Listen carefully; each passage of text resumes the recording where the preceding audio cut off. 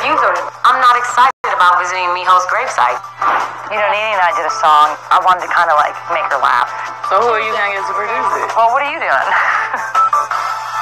to learn more about the Real Housewives, go to BravoTV.com.